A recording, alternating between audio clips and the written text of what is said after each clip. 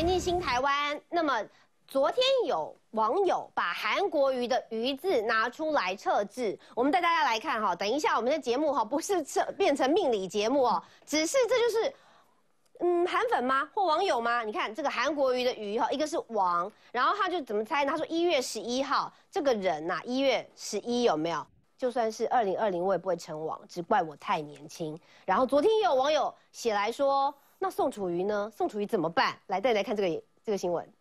从之前到现在，从来没有说过三个字叫做“我不选”。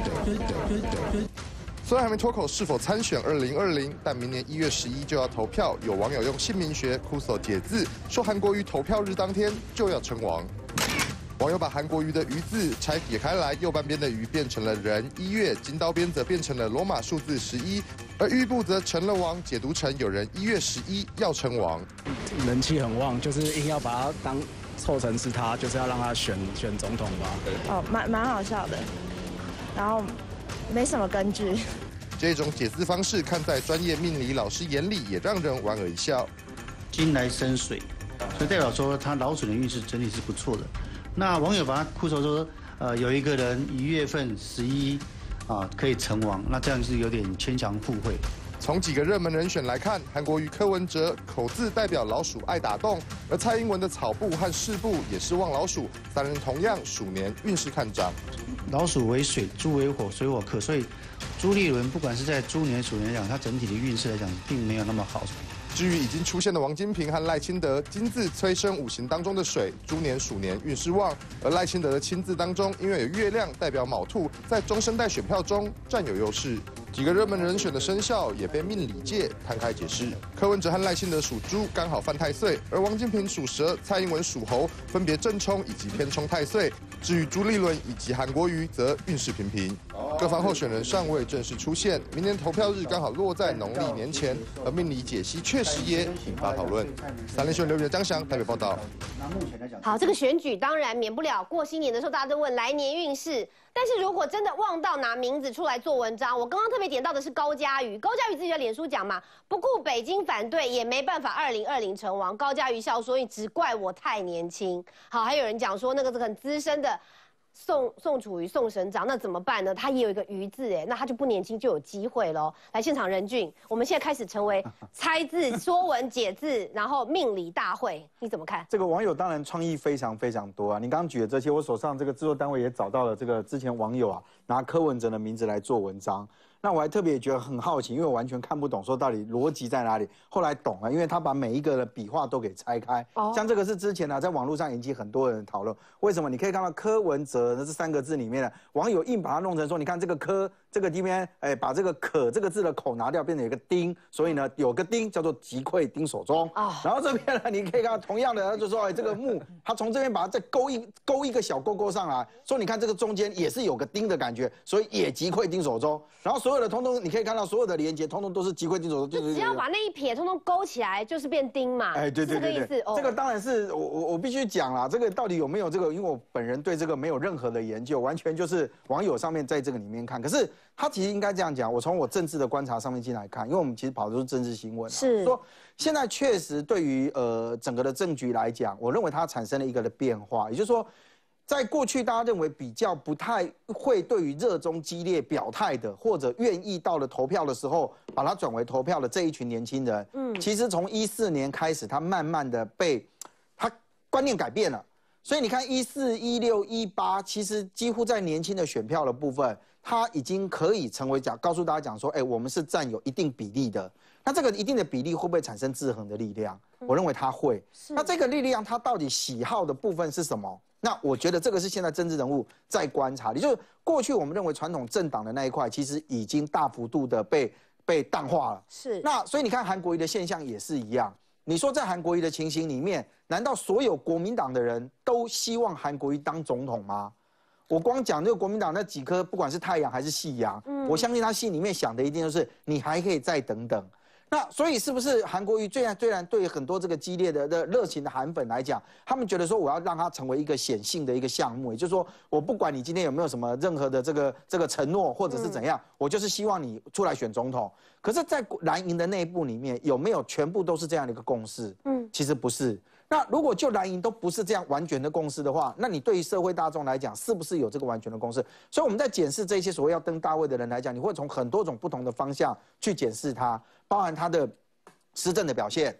包含说，哎，他的言论，包含他在两岸上面的立场，甚至有一些他到底有没有有有没有一些出贼的，或者他们做的特别好的。所以我觉得，与其讲说说文解字，说真的，因为你知道我们每次跑选举的时候啊，那一定会有一段时期，大家都会讲说啊，选举要到了，找这个这个风水流年，开始这些民俗专家来谈。我认为他们有他们的理论依据，因为是因为他在那一块一定有他自己的专业跟权威。可是对实质上面来看，来看，你看大家都讲说，哎，网友有时候风向啊，今天起来的时候就起来了。嗯，明天丞相起风了，风一往旁边吹，船就倒了。你看那个状况，也都是非常非常的多。所以我倒觉得，就是说这些对于大家来讲，哎，觉得有趣，觉得怎么样？可是实质上回来看，到你投选票的时候，总不会是看着这个测字，总不会看着这个来做。我自己都遇过一个啊，当时在二零一四年这个呃市长台北市长选举的时候，我也看过台面上一个很有名的这个这个这个这个老师啊，嗯，也是铁口直断说某某某一定会当选啊。当时在场差不多有十个人左右都听过这个，我们还叫他写下来，因为怕口。说无凭啊，是。那我也很相信这个老师啊，但问题是呢，开票结果出来的时候，就完全不是那一回事，下巴就掉了，哎，眼镜就满地找了，是这样吗？那当然，他一定会有他的这个解释啊，就是他预测的那一天，跟他后来的时候，其实是发生了一些变化，变化。所以，我我觉得这里面大家就是喜相信的人就相信，可是我觉得对政治人物来讲，他还是必须要实质注意到的，就是说他在这个整体的表现上面，一定会被可供检视的部分，会才是他能够拿出来说服民众。总不会有人讲说。现在大家会检视他的铁撇开测字，他到香港去见香港的特首，见这个呃澳澳门的特首。但对他来讲，如果以自己高雄市长来讲，确实是有一些订单啦。但这是重点吗？我我觉得这个你你可以看得到哈，比如说这这这今天谈到说是不是刘杰一可能会到厦门去跟他见面，那陆委会立刻就讲说，哎，你这个如果有政治性的东西的话，你就要补送文件。那包含到我，我认为这个政治上面它其实可以预测的啊。比如说你刚刚讲到他到香港行，那前几天赖清德才刚跳出来讲说他要参代表民进党参选这个这个总统的这个初选的时候，是他是不是也提到了说他没办法接受香港模式，没办法接受所谓的澳门模式？那你认为他讲的是谁？韩国瑜马上这时候就要去了。如果韩国瑜在这时候告诉大家讲说他觉得香港很好，讲到澳门很棒，讲到怎么样？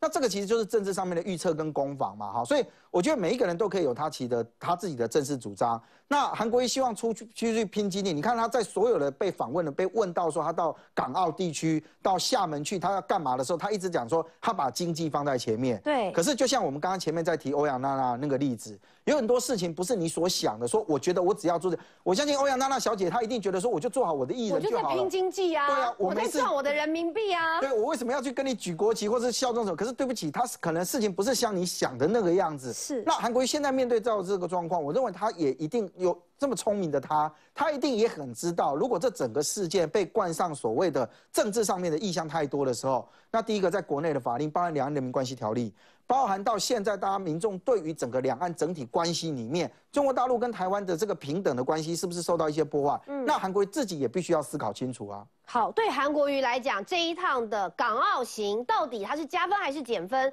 刚刚浩宇告诉我们是，这是有点错误的评估喽。因为在网络的声量当中呢，对于他此行，当然韩粉还是很挺啦哈。包括你看韩粉挺到要写说韩国瑜的瑜字解开等于有一个人一月十一号会成王，就是韩国瑜了，真准，连天都支持。浩宇有很这个很很有经验的跟韩粉攻防，你怎么来看？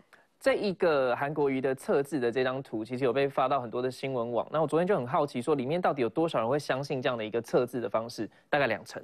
啊，有两成算多哎，八十是不相信的啊，就是百分之八十是骂的半死，说这怎么会是这样子呢？可是呢，韩国瑜其实他他最最大的失策，我认为我再说一次，就是他去碰两岸关系的问题。嗯，他一碰两岸关系，他就完蛋了。为什么？两年前的时候，中共提出了一个叫融合大湾区的经济发方针。嗯，什么叫融合大湾区？什么是大湾区？大湾区就是澳门啊、香港啊、广东啊、深圳这一带叫大湾区。可这次很好玩呢。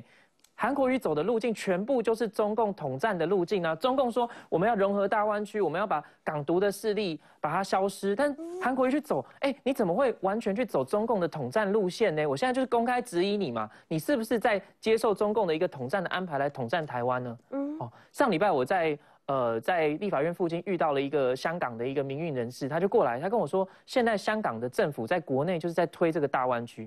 跟小朋友说，你不是香港人，你是大湾区人哦，不能再说香港了耶。就像就是香港消失，澳门消失，厦门也消失，就是我们就是一个大湾区。他说，因为有一个旧金山湾嘛，那我们是不是也要弄一个，就是一个湾区？这个湾区就是把香港、澳门弄在一起，那香港就不再是香港了，就是一个大湾区人。那今天韩国瑜走的路径，我看了之后我傻眼，完全跟这个统战的一个方式是一样的。而且当初他们推这个大湾区的经济方针是要干嘛？就是要作为统一台湾的示范。哦，对，既然他要做统一台湾的示范，结果你韩国瑜竟然跑过去，那这个还是政治零分，经济一百分吗？完全就是政治一千分、一万分了啦。所以我觉得韩国瑜这样走是不对的啦。那第二个部分就是说，他去这些地方，他一直讲农业、农业、农业。啊，农业占台湾的 GDP 一点六个 percent 而已，你再怎么拼，加起来是一点六零零一，真的能够让台湾发大财吗？根本不可能发大财嘛。对，所以其实我觉得他已经被看破手脚了，包含昨天的热门新闻，今天早上的热门新闻三十名，哎，韩国瑜出访的新闻，每每一台，包含中天丢了多少新闻，可是三十呃三十名的新闻里面只占两三个哦，这代表什么？就他退烧了嘛？三十个新闻里面只有两三个是韩国瑜，而且都是中自备的新闻，别的台都没有办法把他的新闻弄到热门的榜里面，是不是没有人关心他了？浩宇就这个网络数字给我们很多的这样的一个呃看法，就是韩国瑜的这个热度是不是随着他太过于在两岸的关系上面表态，而且他表态方向。嗯，肯定不是你我想的这个维护台湾主权之外，还有附加什么九二共识啊，啊，还有这个呃一个中国原则，就是大部分的民众在听了习近平的谈话之后，慢慢的就是觉得说，你中国对我们的态度，讲白了，你就是要来统一我们。好，是不是像浩宇所讲的，韩国一线的行程在走一个中国统战的模式的这样的行程呢？我们来看哦，这个三月二十二号香港。那么他说是农产品推荐会暨签约仪式是信和集团的中环广场，三月二十三要到澳门是澳门塔，澳门塔什卫生中心、澳门普语国家食品展示中心、澳门高雄投资贸易洽谈会暨签约仪式之后，他就到深圳，到深圳是两天，再到厦门。当然，其中深圳呢这边有，澳门的。赛马场跟澳门大学，然后呢要参观深圳的前海及深圳综合交通运行中心，然后看深圳的一些科技中心。当然，接下来就是厦门了，就是香港、深圳，就是包括澳门当中的厦门。哎，这好像真的就是大湾区的路线呢。所以，指责这完全就是一个中国统战模式的 的最好表表态嘛？我觉得这个怎么评论呢？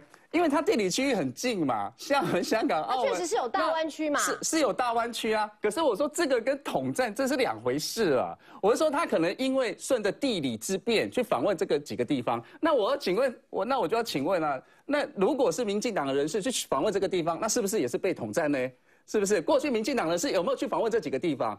不是，我说这个，我我我个人认为，我个人认为这样的大湾区吗？我不一定，当然不一定是吧，他可能个别，是不是就是香港、去澳门，或者说说去，我不知道有没有去过厦门啦，哈。那过去过去一些市长，包括陈菊也登陆过嘛。那坦白讲。那整个整个整个中国大陆本来就是想要统战台湾，那只只要他去任何地方，难道都是都是统战行程吗？所以，我我觉得啦，但我不晓得他这个，我我觉得啦，像这样的行程一定他有目的性啦。第一个，他一定是有一些什么，有一些这个订单已经先确认了嘛，哦，包包含这个有花卉的订单呐，有农产品的特餐，都已经都已经确认了，所以他才会这样跑了。如果他去了空手而回，那。那那就白跑了嘛，所以，我我不认为这样的行程有太多的政治呃性质。但是就是说，在这几个区域哈，大家不要忘记，包含深圳，大家知道深圳多少人啊？两千万人口啊，包括跟台湾的人口一样大，是台湾是大陆的一个呃这个政经中心啊。所以去访问这几个地方，那香门呃香港、澳门，对啊。都是一个，都几个都是经济发展很活络的地方嘛。那我所以以他这一次出访，他自己定调是产业经济产业之旅嘛。那所以说，我觉得这算是合理的行程了。至于有没有 有没有被统战，老共怎么想我不晓得，但是。韩国瑜不大可能说我去，哎，我就是要因为他们要统战我，所以我去跑这几个行程，这个 impossible 嘛，我觉得不可能，他也没那么笨接下来韩国瑜如果真的有机会公开发言的时候，他怎么说？怎么看台湾的主权？怎么定义他这一位高雄市的市长是中华民国的高雄市长吗？还是说他就是略过不讲，那其实大家都会看他的表现。只是这位高雄市长，很多人现在都讲了，经济之旅很好，帮高雄拼经济也很好。但是带着夫人没有关系，因为是自费哈。那有些场合可能夫人需要出席，我们也不会做批评。但是带了副市长，然后带了海洋局的局长、农业局的局长、观光。观光局的局长、卫生局的局长、交通局的局长、新闻局的局长、研考会的主委，好，然后十位国民党籍的议员，我再再次澄清哈，没有民党的议员去哦，也没有去登记。然后呢，两岸小组的委员一位、两位、三位、四位、五位、六位啊，顾问啊，还有市政顾问、市政顾问，还有呢渔业代表，哇，这个二十八个人的。团哈，我想问，因为庆丰以前曾经台北市议员，你怎么来看哈这样的一个团？包括刚刚这个我子泽有讲了嘛？好，你讲这个大湾区行程好像有点过于言过其实，民进党的人真的也会走这种大湾区行程吗？难难回答。查一下陈局有没有去过？我这么说了，其实，在过去包括陈局市长赖清德担任市长的任内，如果在合理的城市交流的部分，首长交流是没什么问题啦，也不是全部都是，只是我们是提醒的有这样的一个背景啊。那我回过这个情况来看，以刚那一个那个行程来讲，我就很心平气和的讲，整体站在国家的高度而言，如果韩市长到中国去促进农渔订单、商业的产业的考察，基本上这个部分是 OK 的。但是你也要去提醒他说，是不是会触及政治的协议？又或者是，又或者是提醒他会不会有统战的部分哈？当我回过来看那个行程，其实很少有县市首长这么大手笔。他才上任市长三个月，四月一号高雄市议会就要开议，他现在对市政的娴熟程度，我不好意思批评，我不好意思批评。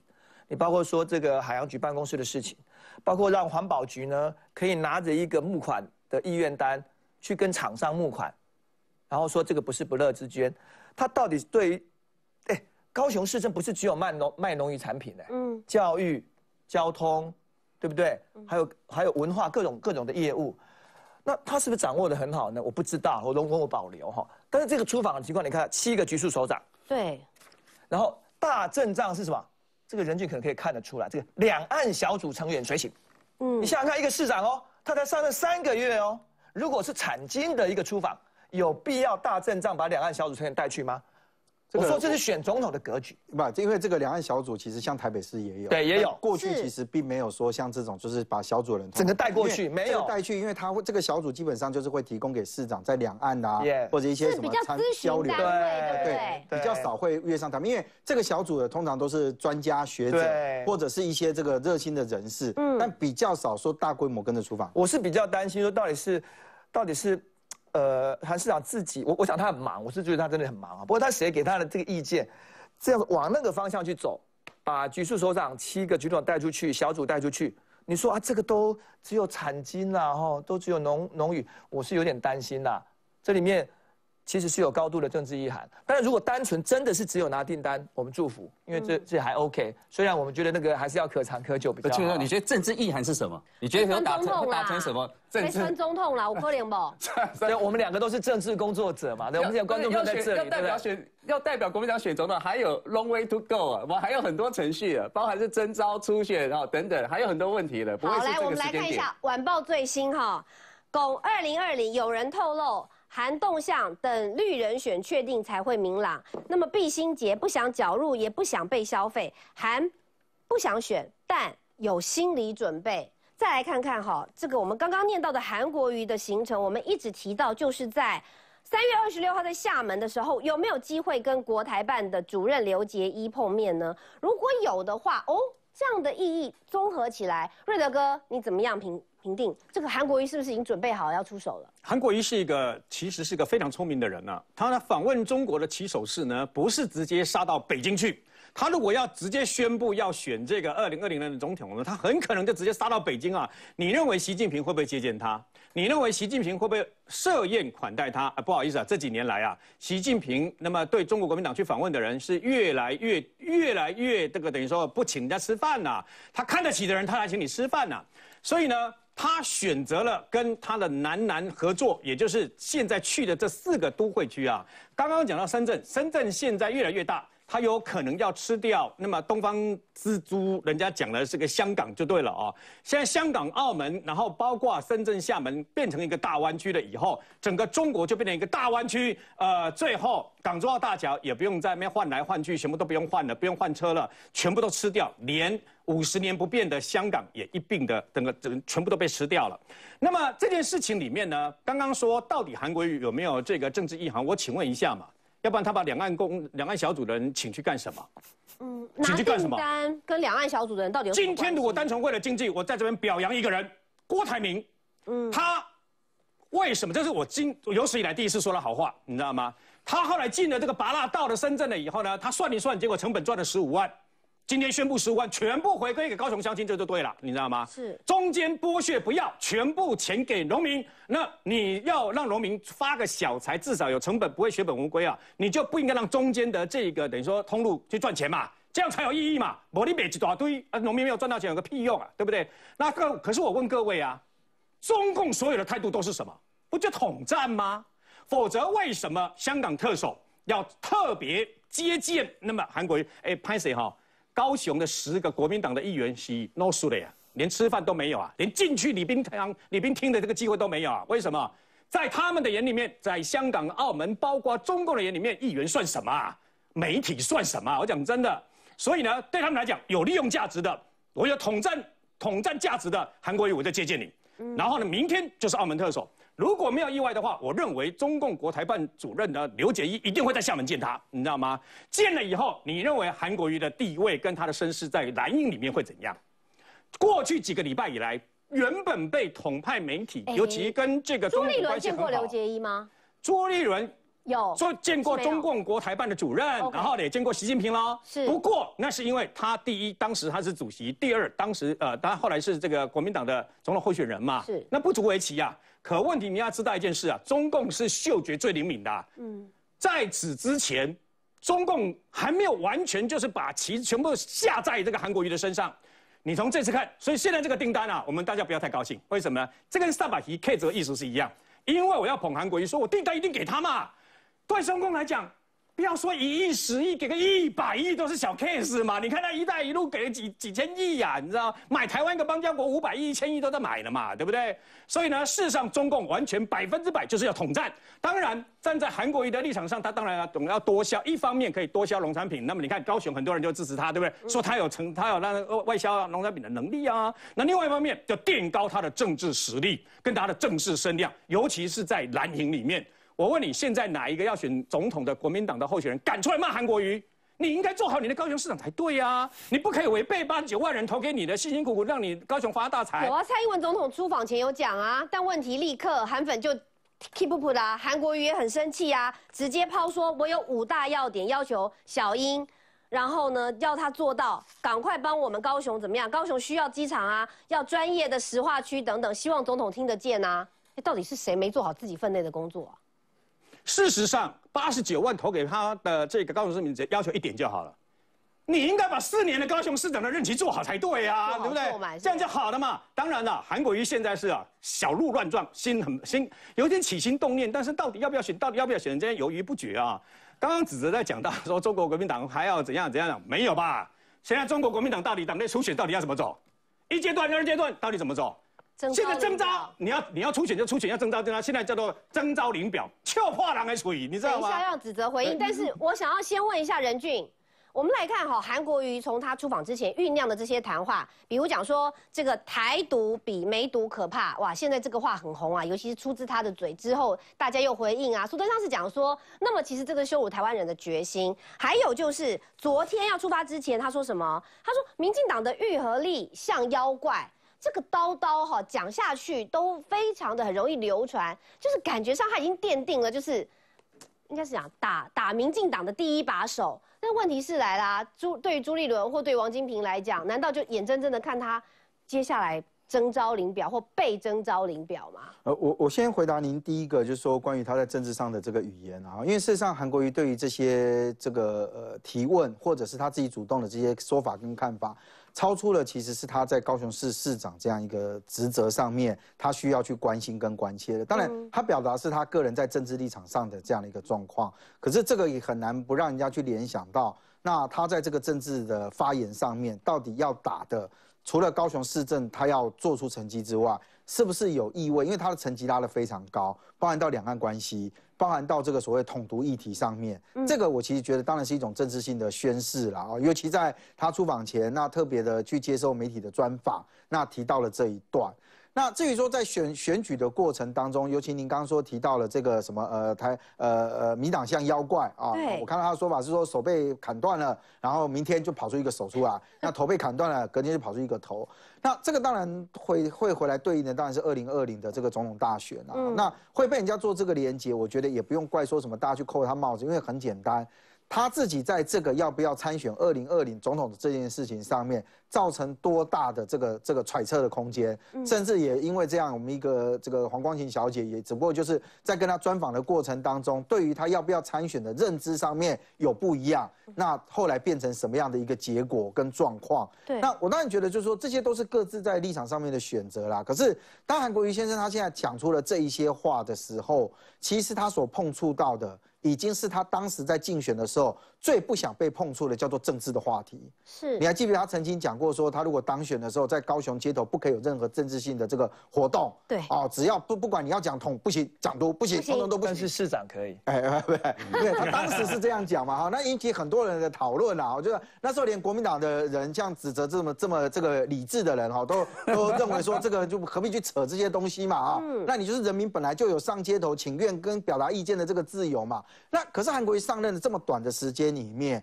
前若前一阵子在省高雄灯会的这个状态之下，有这个观光是跟在地很有直接做到连接。那现在几个的出访连行程里面，当然他讲说他要拼经济，要卖农产品，要干嘛的。可是相对的来讲，在政治上面的意涵，确实就跟现在国民党里面的状况是一样的。嗯，也就是说，当他提出这些把自己作为国民党领头羊的时候，可是他现在不是领头羊啊。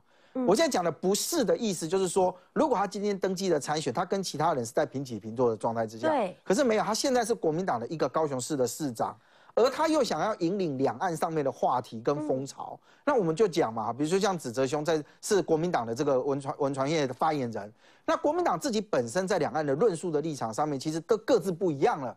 我就说他的大帽子是教授说国民党接受九二共识，可是九二共识后面要怎么走？我觉得你光看吴敦义有吴敦义的论述，那这个朱立伦有朱立伦的论述，我相信韩国也有韩国瑜的论述啊。那这些论述都是各自自己的表态而已啊。可是现在韩国因为有媒体的光嘛，大家极度都要放大的说，哦，他对于两岸他就是要这样做，代不代表国民党整体的立场？所以我们这个来回答您第二个问题，就是说，对于国民党这些太阳来说，或者是呃呃韩国瑜说他们是。会被射下来的嘛？因为他是后裔嘛，啊，就说就是对这些人来讲，他能不能那么接受韩国瑜代表所有人的立场？还是你如果不跟着他的立场走，到最后所有人就通通要被扫到灰烬之下？嗯，我觉得那可能是国民党现在在这个时间里面，他面面临的比较大的问题啊。好，任俊刚刚所点到一个点，我要提醒大家，韩国瑜他只是国民党的高雄市市长，是六都当中拿下来的其中之一。台中还有卢秀燕，新北还有侯友谊。可是你看他们哈，有没有这么在抢所谓两岸的论述？那么有没有这么在对于民进党的党内初选做批评？那么如果没有的话，为什么他们选择或是媒体的关注当中不一样？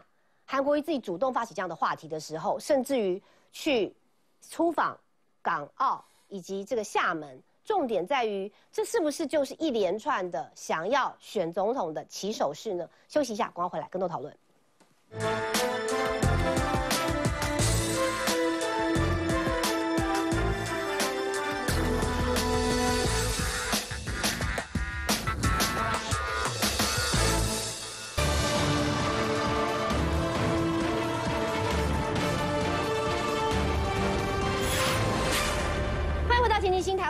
晚报的时候有做了韩国瑜的友人透露哈，韩国瑜虽然没有说要选二零二零，但是心里确实已经有这样的准备了。刚刚广告期间哈，子泽会认为说，呃，赖清德出来参选挑战蔡英文，让国民党有机会可以喘息。但是有另外一个说法是哦，赖清德也逼得国民党必须要亮王牌，因为蓝营现在就说要征召最强的，而那个最强就是韩国瑜。所以你们内部难道不用去处理这个朱立伦跟王金平心里的感受吗？我都已经宣布要参选，结果你们眼光一直看着的是那个还没有说要参选的，只有心理准备，嘴巴都没有讲出来的。没有了，我我想哈，初选大家都希望说按照制度来走哈，这是最合理公平的事情。但是你看，包含国民党、包含民进党哦，现在的初选都因为我们的党内太阳很多，想要出来进角逐、竞逐这个大位，所以说当然会有一些变化。那对于国民党而言，当我们现在很明很明确的，我们四月要领表，五月登记。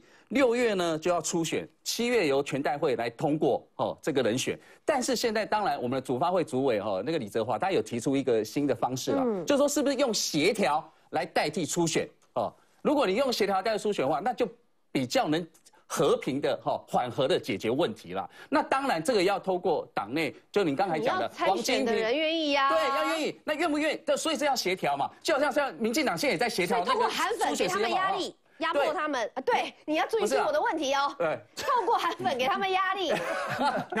小心小心，不是不是不是不是，我我说的对，不是这个意思啊。我是说韩国就就说现在现在赖清德赖清德出来哈，我我承认哈，的确给蓝军，尤其是韩粉哈，很多的声音出来，就是说希望党内。一定要派出最强的人来应战，不然会之前本对之前本来想说是柯文哲比较强哦，我们比较不怕蔡英文。当时哦我们从民调上来看，那如果民进党最后是赖清德出来，那我们肯定要出王牌嘛哦。那韩国瑜当然这一张哦，这个现在这个人气王可能就是选项之一。可是问题就是说，韩国瑜他自己已经说他不领表了，不领表。所以我个人会认为，韩国瑜要出来的正当性，事实上就是什么？他必须要是被动。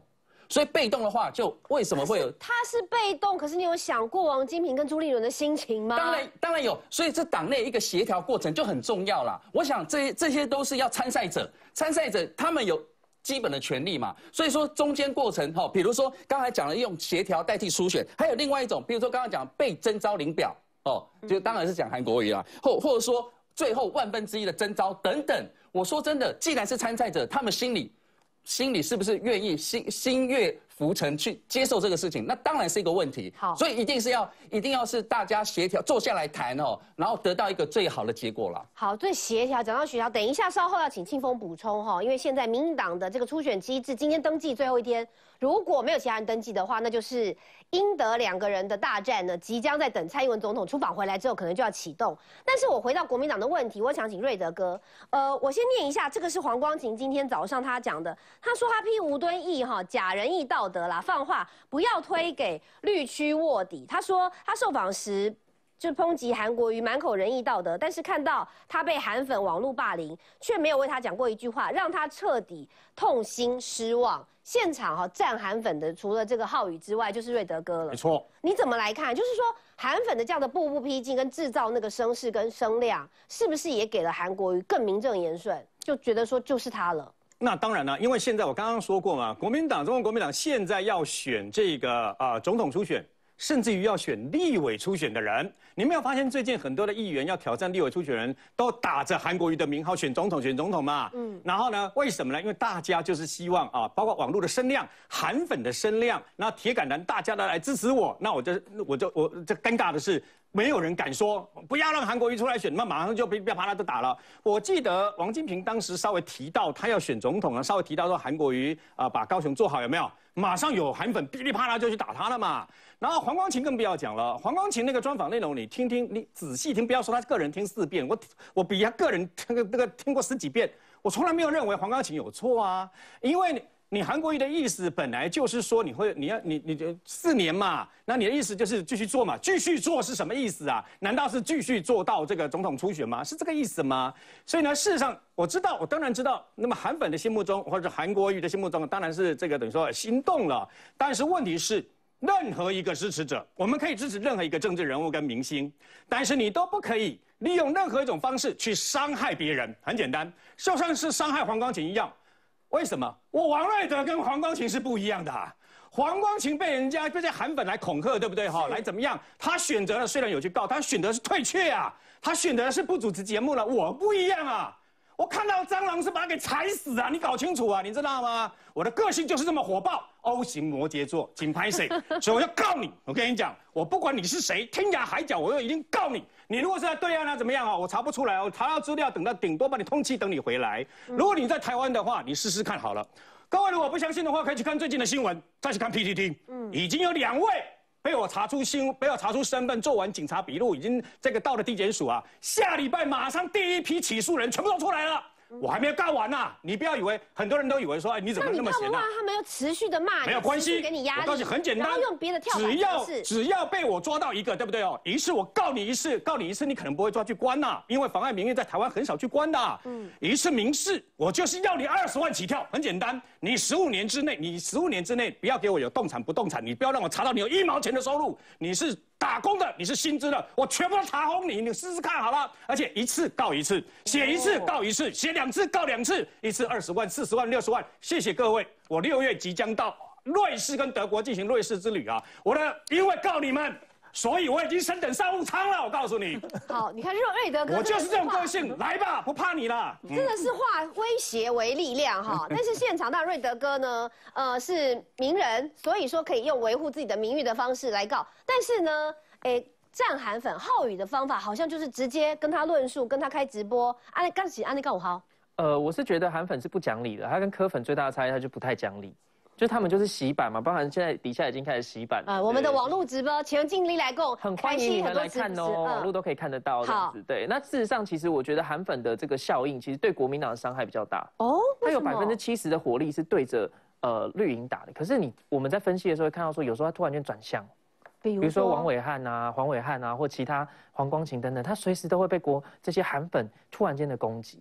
这代表说这些韩粉是很失控的，他随时可能，呃，现在是攻击绿营的政治人物，明天如果王金平突然说了什么，朱立伦说了什么，会不会被遍体鳞伤？嗯，我觉得这是非常严重的问题哦。所以我觉得现在开始，国民党应该好好的去思考，要不要让韩国瑜参选。那如果韩国瑜没办法参选，国民党应该不敢讲这样的话，不然马上党中央就被韩粉又洗版了。对，可能我看党中央，我现在先预测哦，如果韩国瑜没办法选，国民党的党中央会不会被包围？哦，一定发生嘛。这个到时候国民党能不能继续执政，其实就被韩国瑜搞掉了。所以我还是要提醒国民党，就是其实韩国已经越来越大头阵，因为这些韩粉让他觉得他自己好像是一个哇非常厉害的人。实际上他有没有那么厉害？当然没有那么厉害。所以其实我觉得国民党的人也要小心韩国瑜造成的效应会不会烧到国民党自己。好，所以对国民党来讲，韩国瑜是一个他们必须处理的问题。但是呢，如果朱王真的不同意所谓二阶段式的征召，那么该怎么办呢？现在他们主发会主委李祖华，诶，泽华就说了，不会再提了，因为这个呢，朱王如果不同意的话，很多事情是不能就是一厢情愿。这边就讲到了哈，目前参选人对于这套办法不同意，那就不会再提了，因为党也不是为某个人量身定做。哎，所以是不是逼得韩国瑜哎参选回来？哎，参访出来来之后，就有可能对参选起心动念呢？另外呢，刚刚我们在一开始的时候特别有聊到嘛，好，就是这个韩粉呢，把韩国瑜的鱼拿来做测字，说他一定会呃一月十一号会成王。其实我们来看，那如果是这样的话，我们也可以找到蔡英文哈，一月十一号。然后呢，这边可以有一个两个，就是指两次上位，因为这个音下面不是个央吗？就是中央或总统府啊。文呢又是又 again，所以就是再次进入总统府。所以猜文解字大家都可以，但是重点还是要回到对于候选人理性的评估跟判断。广告回来看你，让你来看蔡英文出访之前跟网红的开箱文。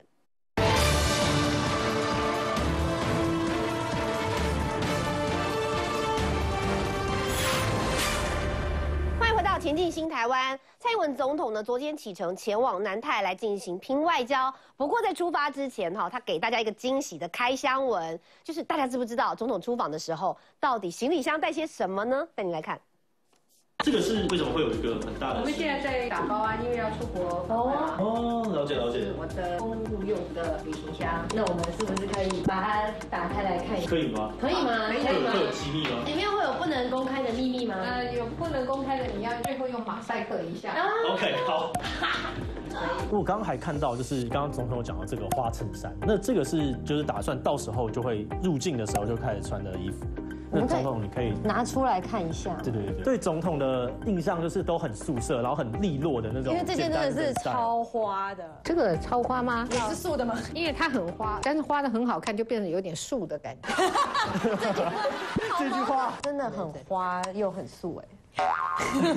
我一下就看到这个我刚刚一。看就是这个是外交部做的靠枕，收起来是这个样子。这个是一个台湾的造型，超级酷然后你打开以后，它就是一个靠枕。可以打开看看。可以，但是我不敢确定，我只知道怎么弄。把这个沙弄到这里面，这个就要 DIY 一下。这是一个很神秘的画如果我面。们没办法做对的话，外交部会打死我们的。我们把他们产品没有正确的推销出去，所以它它其实它。其实是要塞进去的啦。哎呀，你比较常旅游的旅游型 YouTuber 果然比较会被智商碾压了，知识型 YouTuber 鱼竿队弄得比较好看。你这个后面还有一个小袋子，应该不错哦。专业警诊来跳火圈。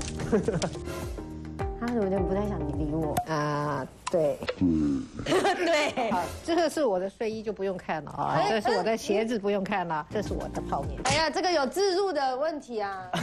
我有听说总统好像很喜欢吃泡面，我就是吃来来一 个。样子。很多的糖果、蜜饯跟饼干，这一片睡得好哦。我觉得这量，我刚刚我刚刚也有点吓一跳，它超大一包哎，超多的耶，一天吃一片了，差不多。然后还有最后就是这个小徽章，很可爱的徽章我觉得这真的很漂亮。刚刚我们看到狗的时候，我发现我们团队的大家就想说，哎好像大家都不太清楚，就是总统有养狗这件事情。哦，我有三只大狗耶，三只拉布拉多犬是导盲犬，它们三个很乖的，看到猫就躲起来了。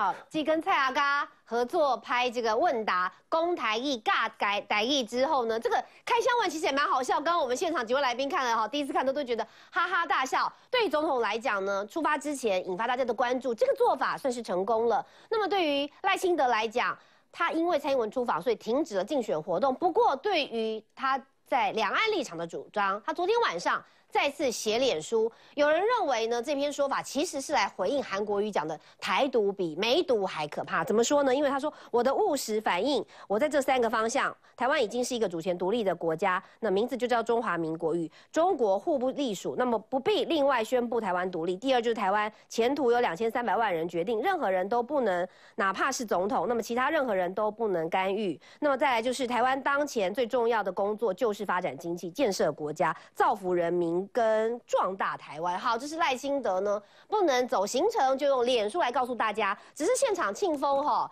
哎，民进动现在是不是要进行一个史上最艰难之任务大挑战？就是这个五人小组，包括陈菊、苏贞昌、郑文灿、柯建明跟卓荣泰。其实陈菊跟郑文灿跟这个赖清德之间的关系，大家比较知知道，而。苏贞昌跟柯建明为什么会被选入这五人小组？原因在于什么？呃，谈协调之前，我先回到那个制度的部分，因为刚刚刚谈国民党，对不对？嗯。民党现在当然也是在初选，总统提名初选。不过不太一样的是，民进党的这个初选都是制度先行啊，因为包括协调也是在机制里面。然后如果真的协调不成，不需要竞争的话，那么民会有这个电视政见发表会或民调，不太不太可能在边走看边看说是不是要呃强制的领表啦，或者是两阶段，或者是说。或者是说什么样不太可能这样子。那现在呢，我们面临的都登记到今天啊五点就登记截止。是。那么如果有第三位、第四位不一定，不过现在目前也是两位哈，那就就会有就要协调，就进入协调。协调本来就是机制之一了哈。那这是一个机会，这是一个机会，不管是在未来是能够协调有一个很圆满的结果，或者是说，万一如果协调的情况是呃还是要进行君子之争，那都是一个机会，让民进党可以在这个时候。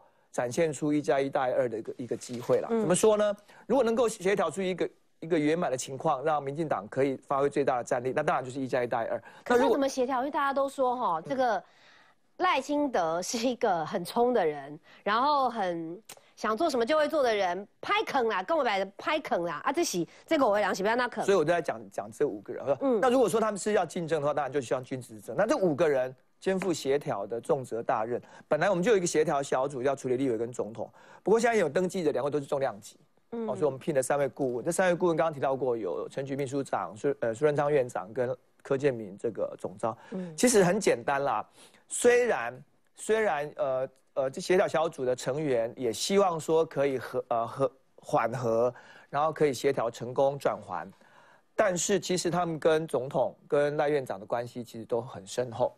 并不会说因为他们本身希望呃呃可能有呃些微的表态说希望可以支持小英总统连任，然后就影响这个效。怎么说呢？你看这个党内都知道哈，那个这个苏贞昌院长跟赖清德前院长其实是关系非常好的。那在过去从政的过程里面，苏贞昌院长担任行政院院长的时候，上一次担任行政院院长的时候，其实赖清德就是在党团的干部嘛，在立法院。所以他们两个合作很密切。对，那当然是很欣赏赖清德院长哈，这不用说。那以柯总召在立院这么久的国会领袖的这个资历，过去这个不要说他们曾经是同事了，那赖清德担任院长的时候，当然跟柯总召也是密切合作的。是，菊姐更不用讲了，就像四同自己的姐姐一样。所以未来的重点，我刚刚已经强调过了哈，就说不不会让人家觉得说，呃，这个就一定是说他们已经是倾向让，呃，这个小英总统说也许连任会比较一个稳健。那因此就影响影响了协调。苏贞昌说转环才会有圆满，那这个是什么意思？呃，就是刚刚提过了，有没有可能合作而有而有不一定要进入到民调的这个阶段的可能性？我再强调一遍，这个顺顺序是固定的，也就是说先协调，协调如果完成了，就不用。证监会跟民调，嗯，协调如果没有完成，就是说那还是大家还是来论辩一下好了，比比看也没关系，才会走下下面去，这是整个机制的。观众朋友不是很了解的协调哈，是到时候五位会把各自把参选人都请过来，然后好好的聊吗？是有一个这样的一个过程吗？一一定要有这样的过程啊，嗯，对，所以也是因为这个样子要跟各位观众朋友报告，也是因为要尊重当事人。因为现在假设有两个人了，因为不知道有没有第三个人。嗯，因为有两个人，你不可能只找 A，然后不找 B，这是不没有办法，这是没有办法协调。那总统问题是昨天就出国啦，对，他就已经出国要出国八天。那本来我们在设计初选机制的协调机制的时候，我们并没有办法掌握总统的出国行程。嗯，我们在三月六号中常会就通过了，而那个时候总统府还没有拍板出国的时间，所以在这个情况下，外界当然会关注说，那是不是我？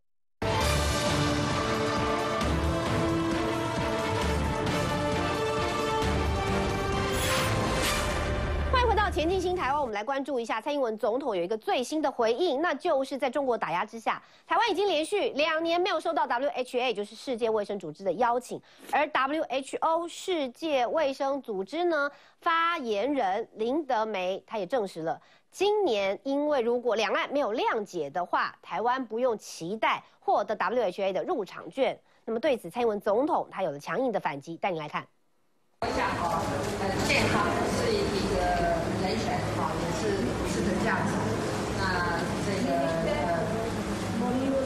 呃，北京没有理由啊，把我们排除在的那些的那些甚至是世界健康体系之外。那我们两千三百万人的健康也是不能被忽视啊，那也不能被消失。那所以呢，我们会继续的来争取加入的那些的那时候。那么同时呢，呃，我必须讲这个。确实是这个世界呃健康体系的一个一个损失啊。那我们可以做很多，我们也可以贡献很多。那我们跟方舟国之间的这些医疗的合作啊，其实是很有意义的，也很多事情贡献。所以我们会继续努力。好，你看这个所谓两岸没有理解，对岸没有善意的回应，反正一切决定权都在对岸，所以总统认为这是一个无理的打压。浩宇，好像就这一阵子以来，蔡英文总统的声量在网络上面是呈现一个很快速的成长。这对，其实赖清德宣布的时候，我滑到手机，我想说，哇，他完蛋了。嗯。可是这几天我密切的观察网络声量，我发现，哇，其实两边都很好。第一个是蔡英文他的网络订阅现在已经是七点五万人了，很快。一个网红来说，这个算是 A 级的网红哦。嗯。快速的订阅。第二个就是说，赖清德跟蔡英文的网络声量同时都拉高。让我最意外的一件事情是，我不知道蔡英文这几天到底做了什么，他的正面声量成长六趴，负面降低了百分之四。